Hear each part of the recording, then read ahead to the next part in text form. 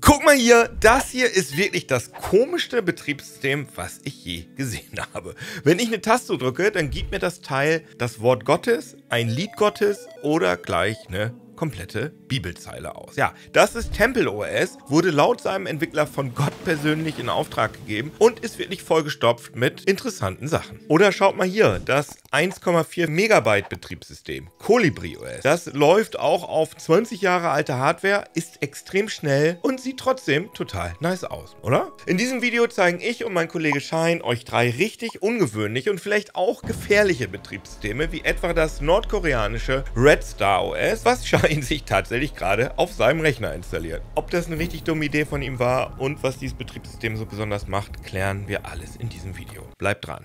Liebe Hackerin, liebe Internetsurfer, herzlich willkommen hier bei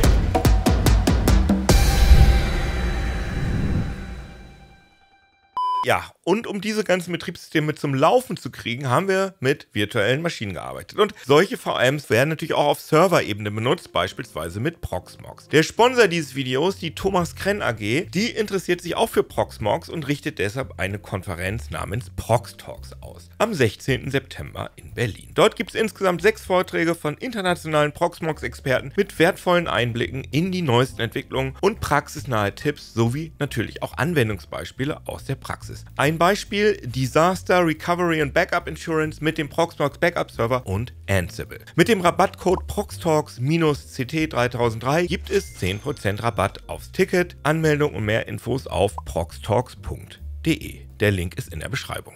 Werbung Ende. Komisches Betriebssystem Nummer 1. Temple OS. Ja, okay, Temple OS ist ja, ungewöhnlich. Also, man kann auch sagen, richtig weird. Aber auch wirklich interessant. Und mindestens genauso spannend und auch ein bisschen traurig ist die Story hinter dieser Weirdness. Das Ding wurde 2005 unter dem Namen J Operating System rausgebracht, später dann in Temple OS umbenannt und komplett von null an, also from scratch, von einem einzelnen Typen entwickelt. Der hieß Terry Davis und hatte leider sehr, sehr große Probleme mit seiner mentalen Gesundheit. Also sowas wie manische Episoden, bipolare Störung und Schizophrenie. Und eines Tages hatte er eine Erleuchtung und die hat ihm, also laut eigener Aussage, direkt den Befehl mitgegeben, den Nachfolger des zweiten Jerusalemer Tempels in Form eines Betriebssystems zu bauen. Hm, okay, ja. Ja, was soll man sagen? Er hat es wirklich durchgezogen. Davis hat dafür seine eigene Programmiersprache namens Holy C entwickelt. Das ist eine Mischung aus C und C++ und hat mal eben so ein komplettes 64-Bit-Betriebssystem aus dem Boden gestampft. Das Ding ist Open Source, Public Domain, hat allerdings kein Netzwerk oder Internet-Support und wurde primär dafür gebaut, um Spiele zu programmieren. Temple OS läuft mit einer Auflösung von 640 x 480 Pixeln, weil die von Gott vorgegebene begrenzte Auflösung besser ist, um für Kinder Illustrationen zu zeichnen. Also sage ich nicht, hat Terry Davis gesagt. Und ja, es läuft mit 16 Farben und einstimmigen PC-Piepser-Sound, so auch von Gott vorgegeben. Ist klar. Und es wird wirklich noch interessanter. Wenn man Temple OS nämlich das erste Mal startet, gibt es erstmal Geblinke und Verwirrung. Achso, gestartet haben wir das nur in VirtualBox. Auf Bare Metal ist Temple OS fummelig bis unmöglich zu installieren. Diese Fenster, die ihr hier seht, sind Tasks, die man hin und her schieben, größer und kleiner ziehen und mit Klick aufs X schließen kann. Bis auf diesen hier, der ist nämlich was ganz Besonderes, das ist hier der Adam Task, also Adam Task oder Adam Task, wegen Adam aus der Bibel. Und den kann man nicht schließen. In der offiziellen Dokumentation steht, der Adam Task ist der Vater aller Tasks und er sollte niemals sterben. Ja, und konkret ist das eine Art Oberprozess, der immer läuft und fürs gesamte System gilt. Hängt man da also Code rein, gilt das global. Und ja, diese Bibelreferenzen sind wirklich überall im System. Wenn ich zum Beispiel F7 drücke, kann ich mir jeweils ein Wort Gottes ausgeben lassen. Ja, wirklich, nur ein Wort. Recover planets, savor, soundly front sensation, pale, rejoicing, fire ja, inspirierend. Man kann sich auch gleich eine ganze Passage aus der Bibel, ein Lied Gottes oder ein Gekritzel Gottes ausgeben lassen. Hä? Ja, dann startet eine Art Programm, wo man dann ganz oft die Leertaste drücken muss und dann kommt dieses interessante Bild raus. Klickt man hier auf das blinkende Menü, öffnet sich das Home Directory und hier findet man Spiele. Und ich muss echt sagen, die Spiele, die in Games und Non-Games aufgeteilt sind, sind meine persönlichen Highlights von Temple OS zeige ich euch gleich. Technisch cool. Denn man muss vorher noch einmal anmerken, dass Temple OS zwar irgendwie schon so seltsam ist, aber technisch auch total interessant. Temple OS ist nämlich ein Ring 0 Only Betriebssystem. Aber was bedeutet das? Normalerweise gibt es bei einem x86-System mehrere, ich nenne sie mal Sicherheitsschichten, auch Ringe genannt. Das sind Privilegienstufen, die festlegen, wie nahe der Code an der Hardware arbeiten darf. Ja, je kleiner die Zahl, desto eher kann man auch was kaputt fummeln. Bei klassischen x86-Systemen laufen User-Prozesse auf dem dritten Layer, auch User-Mode genannt, und sind damit eigentlich safe. Bei Temple OS ist man aber nur auf Layer 0 unterwegs, also direkt im Kernel der untersten Software-Schicht. Damit kann man super nice im System rumfummeln, aber das Ding auch mal eben komplett zerschießen. Wenn man weiß, was man tut, kann man in TempleOS mit Holy See einige coole Experimente machen oder eben eigene Spiele bauen. Ja, und apropos Spiele, was hier vorinstalliert ist, ist schon echt irgendwie cool und natürlich auch ein bisschen crazy. Guckt euch das hier mal an. Also Spiele. Im Home Directory gibt es Fun Games, Unfun Games, also Spiele, die keinen Spaß machen, Code Scraps und Non-Games. Unter Fun Games gibt es sowas wie Vroom. Das ist ein Autorennspiel, was hier in meiner VM mit knackigen 13 FPS läuft. Oder Wankless, ein Spiel, wo man arme, frierende Bauern im Winter zu Feuern führen muss. Die Lore von dem Spiel basiert anscheinend auf einem englischen Weihnachtslied über den guten König Wenz. Wenn, über den, über den guten, über den,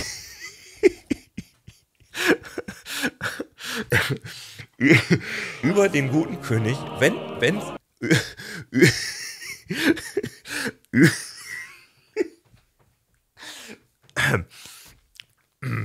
Basiert auf einem englischen Weihnachtslied über den guten König Wenceslaus und sein Mitleid mit den Armen.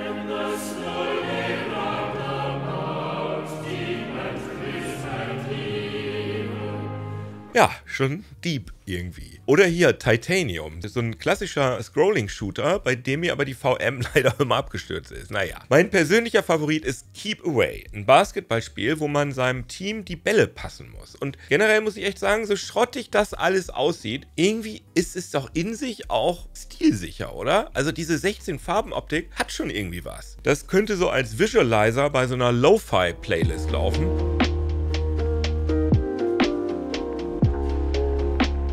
Oder fühlt das jemand von euch? Ich finde ja. Unter Non-Games gibt es so lustige Sachen wie eine Jukebox, bei der man sich Songs anhören kann. Leider habe ich den Ton nicht zum Laufen bekommen, konnte mir aber immerhin die Lyrics anschauen. Man kann zwischen Childish, Night und Prosper wählen und dann den Song von 0 bis 9 bewerten. Hier ein Auszug aus Nine Night. Ja, also kriegt definitiv eine 9, würde ich sagen. Ah ja, und wenn man dann R drückt, kann man sich seine Belohnung von Gott abholen. Dafür öffnet sich dieses Fenster hier und ich kann mir eine random Nummer ausgeben lassen. Ja, dankeschön. Und der Heilige Geist kann dich steuern, das steht hier auch, das steht irgendwie an mehreren Stellen. Drückt man da drauf, öffnet sich eine riesige Wall of Text mit so christlich erbaulichem und Bibelzitaten. Falls ihr das gerne mal selbst ausprobieren wollt, könnt ihr euch entweder das Original runterladen oder halt Seal OS. Das ist ein modernisierter Fork von Temple OS, bei dem man beispielsweise die gottgegebene Auflösung ändern kann. Die Links sind alle in der Beschreibung. Ja, jetzt gehe ich rüber an Shine und dem ist kein Risiko zu groß. Komisches Betriebssystem Nummer 2, Red Star OS. Okay, jetzt wird's gefährlich. Also, naja, geht. Das hier ist Red Star OS, Nordkoreas Betriebssystem. Ja, ihr habt richtig gehört. Das wurde vor ein paar Jahren in Version 3.0 geleakt und ist eine nordkoreanische Linux-Distribution, die auf Fedora 11 basiert. Also, das muss man sich mal auf der Zunge zergehen lassen. Open Source Software im totalitären Staat. Naja, das vom Korea Computer Center entwickelte OS wird in Nordkorea seit 1988 als Betriebssystem verwendet. Es gibt anscheinend auch schon eine Version 4.0, über die ist aber nicht so viel bekannt. Angeblich hat die südkoreanische Zeitung The NK Economy eine Version ergattert. Die haben aber nur so ein paar unscharfe Fotos vom OS veröffentlicht. Naja, Version 3.0 gibt es auf jeden Fall an verschiedenen Ecken im Internet zum Download. Und die Frage ist, ist das Teil jetzt gefährlich oder nicht? Also werden da Daten von meinem Rechner nach Nordkorea gefunkt und parkt bald irgendwie irgendwie ein weißer Van vor meiner Tür. Ich sag mal, jein. Security-Analysten haben das Teil vor ein paar Jahren mal ausgiebig unter die Lupe genommen. Und ich sag mal so, das ist schon ein bisschen beunruhigend, was die rausgefunden haben. Aber da komme ich später noch zu. Aber so oder so wäre ja keiner so dumm, sich das Ding einfach zu installieren, oder? Oder? Äh, ja, doch. Hier läuft gerade Red Star OS in einer virtuellen Maschine auf meinem Windows-Rechner. In einer VM sollte eigentlich nichts passieren. Ich habe vorher aber trotzdem mal den Netzwerkadapter abgeschaltet, weil, naja, sicher ist sicher. Also ich habe auch Leute gesehen, die damit im Internet rumgesurft sind, aber das habe ich mich einfach nicht getraut. Und ja, das Ding ist logischerweise komplett auf Koreanisch. Man kommt da aber trotzdem einigermaßen gut durch, um sich einen Eindruck vom System zu machen. Mit ein paar Tweaks könnte man das aber auch auf Englisch stellen. Also so halb. Wenn man durch die Installation durch ist und auf dem Desktop landet, fällt erstmal auf, dass das total aus aussieht wie macOS X, also mit diesem Dock hier unten und der Menüleiste hier oben. Interessanterweise sah Version 1 noch aus wie Windows XP. Hm. Was man aber bei macOS X definitiv nicht hat, ist diese wehende rote Flagge hier rechts oben. Die kann man auch nicht anklicken oder so, die ist einfach da. Ich denke mal aus Patriotismusgründen. Hm. Naja, und apropos Patriotismus, schaut euch mal diese tollen vorinstallierten Wallpaper an. Hier so hübsche Reisfelder, die bestimmt auch nicht nachbearbeitet sind, oder eine schöne Skyline bei Nacht und oh, oder diese hübschen Artilleriegeschütze in einer wunderschönen Schneelandschaft. Wow, toll.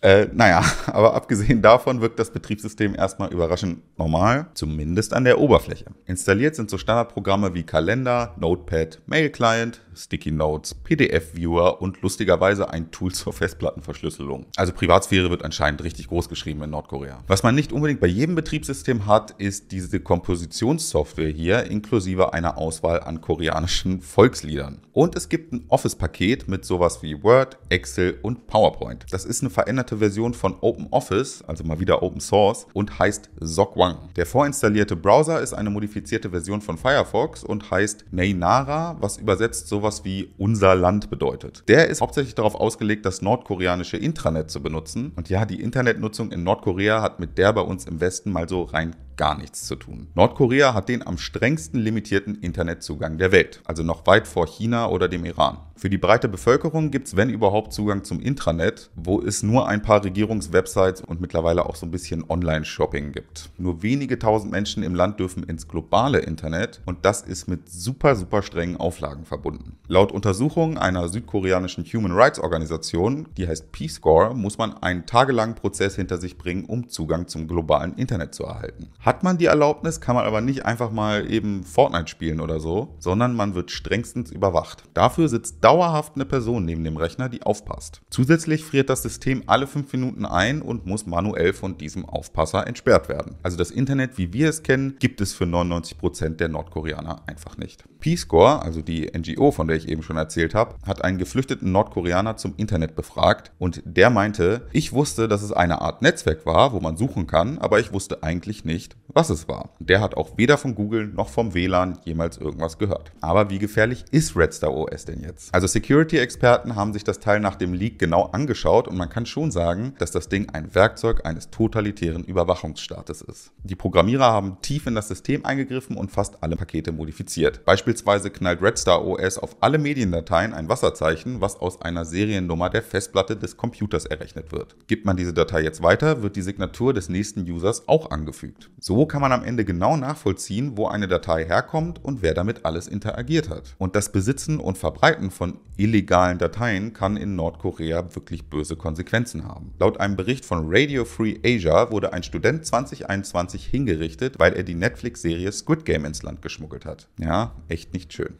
Wenn man einen USB-Stick anschließt, wird sogar noch ein bisschen gruseliger. Das System scannt den Datenträger und die darauf liegenden Dateien und verändert die einfach ungefragt. Und im Hintergrund laufen auch echt ein paar shady Dienste. Zum Beispiel einer, der beim Start eine Liste von Dateien und deren Checksummen überprüft. Und wenn der checkt, dass irgendeine wichtige Datei verändert wurde, rebootet das Ding einfach ungefragt. Sicherheitsforscher waren dadurch teilweise einfach in so Reboot-Spiralen gefangen. Ein anderer Dienst wirkt erstmal wie ein Antivirenprogramm, durchsucht aber im Hintergrund die Dateien nach bestimmten Textmustern. Also es sieht so aus, dass der Virenscanner eher nach Dateien sucht, die die Regierung nicht verbreitet sehen will. Also ein weißer Van steht jetzt bei mir demnächst wahrscheinlich nicht vor der Tür, aber man kann sich schon vorstellen, wie stark Software in Nordkorea zur Überwachung genutzt wird. Betriebssystem Nummer 3, Colibri OS. Das hier ist laut eigener Welcome HTML das kompakteste Betriebssystem der Welt. Das Teil heißt Colibri OS, also wie der sehr kleine Vogel, und ist sage und schreibe 1,44 MB groß und läuft auf alter Hardware noch extrem schnell. Und wenn ich alt sage, dann meine ich nicht so Laptop von vor 10 Jahren alt, sondern hat noch Diskettenlaufwerk alt. Die 1,44 MB sind auch kein Zufall. Wie die Älteren unter euch wahrscheinlich noch wissen, so viel passt auf eine HD-formatierte 3,5 Zoll Diskette. Und dafür ist auch die Image-Datei der Installation vorgesehen, dass man sie auf eine Diskette spielt. Das war also kein Spaß mit dem Diskettenlaufwerk. Colibri OS ist tatsächlich übrigens gar nicht alt, im Gegenteil, das wird nach wie vor noch aktiv entwickelt, kann man hier in den Git-Aktivitäten deutlich sehen. Erst vor drei Wochen wurden noch Bugs behoben. Um Colibri OS nutzen zu können, braucht man lächerliche 12 MB RAM. Wenn man das in einer VM aufsetzt, werden in der offiziellen Dokumentation 64 MB RAM empfohlen, für größere Anwendungen 256 MB. Puh, krass. Naja, das Ding ist nicht nur klein und läuft überall, sondern ist auch vollgestopft mit coolem, weirden Zeug und sieht dabei auch noch richtig, richtig nice aus. Schaut mal hier, das sieht doch cool aus, oder? Diese minimalistische Retro-Optik hat schon echt was und die kann man auch noch so richtig doll anpassen. Also hier beispielsweise jede einzelne Farbe der Fenster. Es gibt auch eine Auswahl von vorinstallierten Themes. Da sind echt weirde Sachen dabei, wie dieses USSR-Theme. Ja, das würde eher zu Red Star OS passen. Ein Fallout-Skin oder Test-Test. Okay. Ein paar coole Bildschirmschoner gibt es auch, wie diesen Matrix-mäßigen hier oder diese Kugel. Schon krass. Ansonsten wirkt das OS wie eine Mischung aus Windows und macOS. Hier unten ist ja so eine Taskleiste und wenn man will, kann man noch in den Einstellungen, die übrigens aussehen wie bei macOS, noch so ein Dock anzeigen lassen. Bei den vorinstallierten Programmen ist eine Menge echt komisches, aber auch echt cooles Zeug dabei. Aber vorher noch ein Wort zur Geschwindigkeit, denn das Ding ist wirklich extrem schnell. Alles, was man öffnet, ploppt sofort ohne eine Millisekunde Verzögerung auf. Colibri OS ist nämlich keine Linux-Distribution, sondern ein komplett eigenes Open-Source-Betriebssystem. Der Kernel und viele Treiber sind direkt in Assembler geschrieben. Deshalb ist das System auch extrem klein und durch das schlanke Design auch entsprechend schnell. Der Unterschied zwischen Assembler und Programmiersprachen wie C ist, dass der Assembler-Code einfach viel näher an der Hardware arbeitet und jede Anweisung die CPU praktisch direkt steuert. So, jetzt aber zurück zu dem lustigen Spielkram auf dem System. Es gibt komischerweise eine große Menge von so 2D- und 3D-Demos, wie diese Augen hier, die den Mauszeiger verfolgen. So ein 3D-Labyrinth oder so ein komischer Hut, der sich dreht und an dem man verschiedene Sachen einstellen kann. Ja, keine Ahnung, wofür man das braucht aber schon irgendwie cool. Es ist aber nicht nur Quatschkram installiert, sondern auch sowas wie Notepad, einen Kalender, so eine Art Paint, verschiedene Benchmark-Programme, ein IRC-Client und ein Haufen Spiele. Hier gibt es richtig freche Kopien wie von diesem Dino-Spiel aus dem Chrome-Browser, Floppy Bird 2048, Doom, Wolfenstein 3D und Quake. Das ist da einfach drauf. Naja gut, aber so Sachen wie dieses Rasenmäh-Spiel hier habe ich zumindest nirgendwo bisher gesehen. All in all finde ich Colibri OS irgendwie einfach nice. Also der Look, diese ganzen komischen Anwendungen und Spiele, das ist einfach cool. Probiert das Ganze doch vielleicht mal aus. Vielleicht habt ihr noch alte Hardware mit Diskettenlaufwerk rumstehen. Falls ihr noch andere komische Betriebssysteme kennt, die wir ausprobieren sollen, dann schreibt es gerne mal in die Kommentare. Abonnieren und liken nicht vergessen. Bis zum nächsten Mal. Tschüss.